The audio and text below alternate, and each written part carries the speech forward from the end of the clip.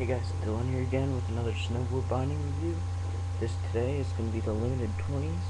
Probably the best cheap binding you could possibly find yourself. It's the first binding I ever owned. Um, really cheaply made, but it's sturdy. Um, very smooth ratchet system. Come out. Um, it says LTD right there. Not a very thick pad, but it's very comfortable. Um, the inner base plate has a pad here and a pad here. Not quite sure where I put the discs at. I think they're there somewhere.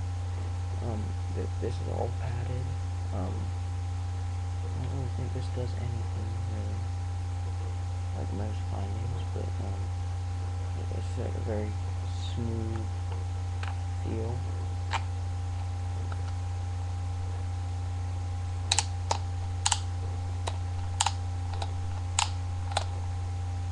Um, this how it looks like when it's stored, how I store it. Um, just like this side. That's the bottom of the base plate. Mid 20s. Um, actually, if you could see that belt, that's comes on the one of them. I think the right binding. Yeah, the right back foot if you're regular, front foot if you're goofy. Um, it's a very good binding.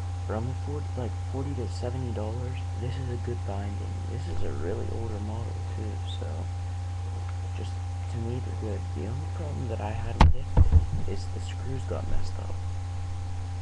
Basically, the screws stripped, and I started to use a drill to put the into my board, which never really worked very well.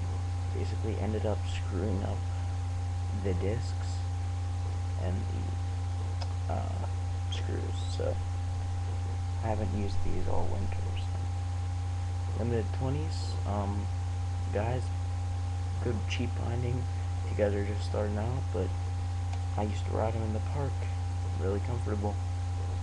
Get them.